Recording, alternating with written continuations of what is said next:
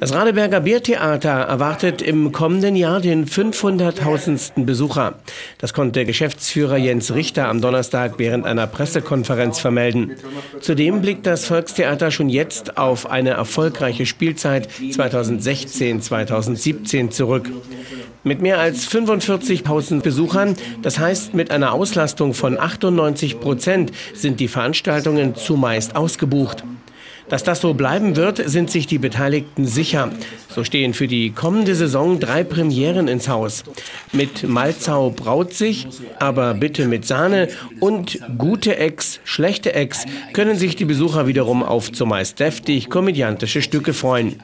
Gerade letztgenanntes ist so richtig aus dem Leben gegriffen, verrät Autor Holger Blum augenzwinkernd und fügt noch das Prädikat pädagogisch wertvoll hinzu. Neben dem bekannten Team um Peter Plache, Holger Blum und RSA-Moderator Thomas Böttcher wird nunmehr auch gute Zeiten, schlechte Zeiten Darstellerin Susanne Kockhardt regelmäßig auf der Biertheaterbühne stehen, war vom künstlerischen Leiter Peter Siebeke zu erfahren.